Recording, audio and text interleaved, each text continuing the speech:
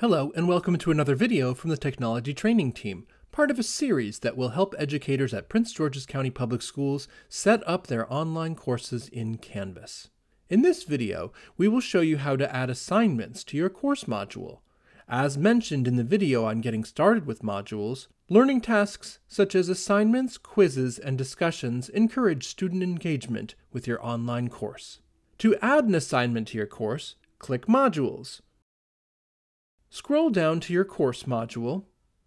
Click the plus button. Select Assignments from the drop-down list.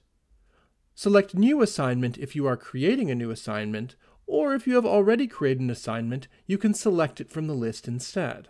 If it is a new assignment, enter a name in the assignment name text box. Choose how far you want to indent the assignment within the course structure. Click Add Item. Locate the assignment in the module.